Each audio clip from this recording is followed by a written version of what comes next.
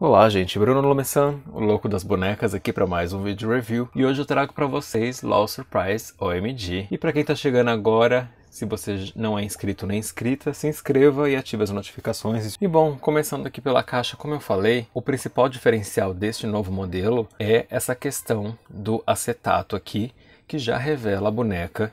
Então, dessa maneira, a gente acaba perdendo um pouco o caráter de exclusividade da surpresa que a gente tinha na linha com a boneca, mas por outro lado a gente já consegue escolher uma boneca que esteja melhor aí com a pintura ou algum detalhe da roupa e cabelo, de acordo com as nossas preferências e gostos, tá bom? E bom, nesse caso temos o tradicional logo de LOL, OMG, a artwork da boneca maravilhosa aqui nessa parte frontal, a informação de eventos surpresas. Desse lado, a ilustração da irmãzinha mais nova. Do outro lado, o tradicional padrão que eles colocam de acordo com a personagem e o nome dela. E no verso da caixa, a tradicional ilustração. No caso dela, ela foi lançada com uma outra boneca, que é Trendsetter. Então, se vocês quiserem vê-la aqui no canal, comente aqui que eu trago também. Aquela tradicional frase traduzida para vários idiomas, afinal, este é o modelo de caixa internacional. E bom, agora eu vou abri-la e já volto para continuarmos o nosso vídeo review. E bom, galera, removi a nossa Skater Park Kitty da, dessa primeira embalagem, então aqui eu já quero mostrar para vocês a diferença. Então a boneca vem presa aqui do lado esquerdo, que é a parte que a gente já consegue ver pelo acetato. Temos um recorte aqui formado pela própria embalagem e deste lado todos aqueles acessórios que a gente está habituado a ver ali dentro daquele provador que vinha nas caixas antigas, mas funciona do mesmo jeito. Então é só a gente ir removendo os acessórios e depois puxar ali a região que fica a boneca para libertá-la também dessa parte aqui do da embalagem. Aqui o tradicional livro ou revista com a informação de que ela é do signo de Virgem. Aqui um breve texto, vou deixar para vocês lerem, quem tiver interesse. Aqui mais um acessório que eu creio que seja a roupa dela, o outfit que vai complementar este look. E aqui o suporte nessa parte, o pente. E agora sim eu vou remover essa parte e já volto. E bom, tirei a nossa boneca daquela parte do cenário. Vou começar mostrando ela aqui rapidinho de uma maneira um pouco mais breve. Então, como eu falei, do lado esquerdo é a região que fica a boneca, como se fosse uma parede cheia de respingos ali de spray, e do outro lado é uma outra parede, como eu falei, com vários shapes de skate, uma luminária com algumas escritas ali no estilo mais grafite, uma placa, ali uma outra foto dela, acredito com a melhor amiga ali, a versão das irmãs mais novas. Aqui uma outra placa de trânsito e esse puff aqui todo estilizado. O piso é nesse quadriculado preto e branco com um degradê rosa por cima. Temos o tradicional livrinho com aquelas informações técnicas e instruções do suporte, remoção. Temos um outro pôster aqui dessa banda, Supersonics, que também é uma outra linha de LOL, inclusive comenta aqui se vocês a conhecem. E do outro lado, uma outra artwork da boneca com um breve texto. E aqui um outro pôster de duas também personagens aí desse universo de LoL. Temos também o tradicional Paint, ou escovinha, o dela é esse tom de rosa bem pink. E bom, vou começar a abrir os acessórios com vocês. Então primeiro é esse pacotinho grande com um cabide aqui dentro. Tem todo esse padrão de uma temática mais skatista, afinal nossa personagem ela anda de skate.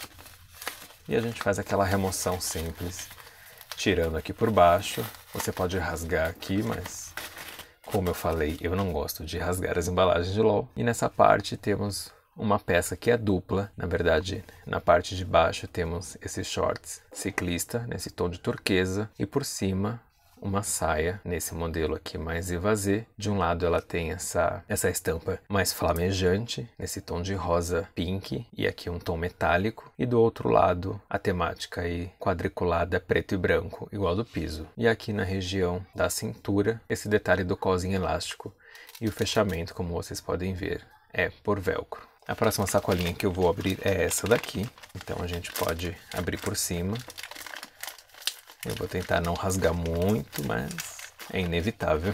E aqui dentro temos este skate lindo e bem estiloso. As rodinhas são funcionais, então a gente consegue brincar com ele. Na parte de cima temos uma lixa de verdade, assim como um skate na vida real. Bom, temos mais uma sacolinha aqui.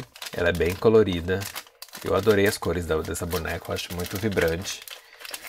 Comenta aqui também se você curtiu ou não.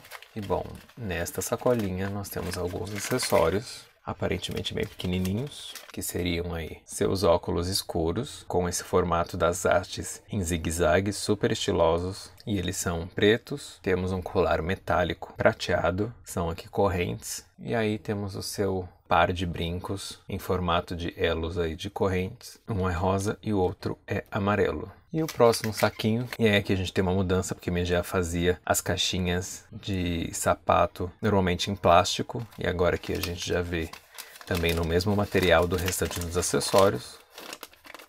E vamos ver aí quais são os sapatos da nossa personagem.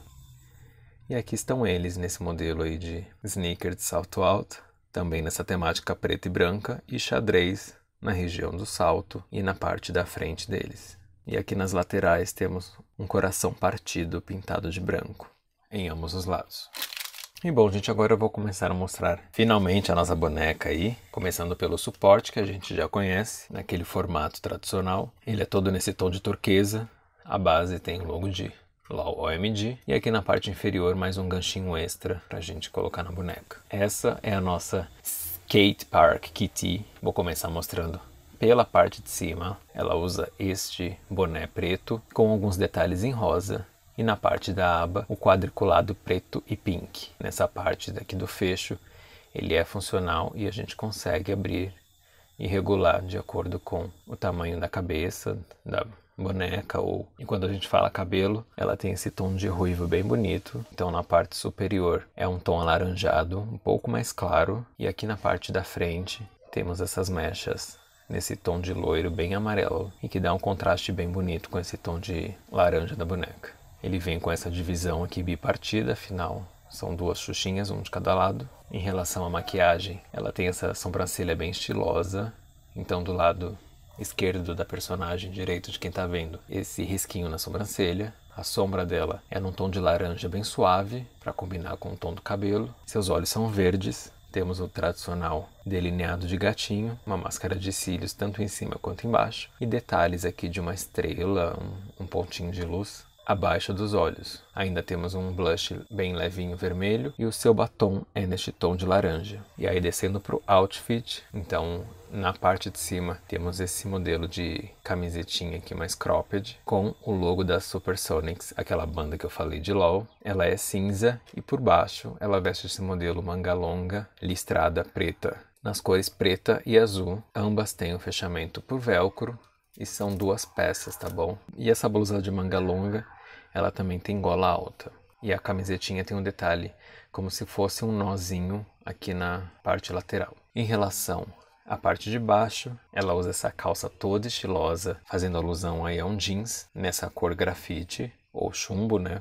Um tom mais escuro. E ela é toda estilizada, tem vários desenhos, palavras. MC Swag esteve aqui, enfim. Ela é muito estilosa. Na parte de trás temos aqui a costura de bolsos. O fechamento dela é por velcro e por cima temos um cinto de verdade, tanto que ele está fechado aqui, então para tirar a calça a gente tem que abrir esse cinto, mexendo aqui na fivela dela, que é de plástico, porém tem essa pintura metálica prateada para combinar com essa corrente metálica que realmente é metal, está presa aqui no passante e no bolso da calça. Ainda nessa peça tem recortes na região da perna e uma meia arrastão costurada só nessa parte tá? Na verdade, ela não usa uma meia rastão, são só esses quadradinhos aqui que foram costurados para ter essa impressão. E aí a gente já percebe aqui nessa parte do rasgo abaixo do joelho que ela veste aquele modelo de meia over knee, é nesse modelo branco com listras pretas aqui na parte superior. Em relação às suas unhas, a gente percebe esse detalhe aqui de uma unha num tom de rosa e mais pink para combinar com o restante do look. E bom, agora eu vou tentar trocar, colocar o segundo look nela e já volto para mostrar para vocês como que fica. E bom, gente, agora eu voltei para finalizar o vídeo e mostrar o look completo da nossa Skater Park Kitty, começando pela parte do rostinho, então coloquei os óculos nela, assim como os brincos, o colar também Acho que fica muito estiloso, combina com a personagem. E, como eu falei, as meias no modelo Overdeni com os risquinhos aqui na parte de cima. E os tênis eu acho que fecham aí esse estilo da personagem. Bom, em relação às articulações, são aquelas clássicas que a gente já conhece, da cabeça aí para os lados e rotacionando. Aqui na região dos ombros, cotovelos e pulsos, as pernas na região aqui do quadril e aquele joelho que a gente já conhece que estrala um para frente e um para trás. E bom, gente, este foi o meu review aí da nossa Skater Park Kitty. Espero que vocês tenham gostado. Comentem aqui o que acharam do vídeo. Ativem as notificações. E bom, me sigam lá no arroba Louco das Bonecas, tanto no Instagram quanto no Facebook, para mais novidades. Eu fico por aqui, muito obrigado e até o meu próximo vídeo. Tchau, tchau.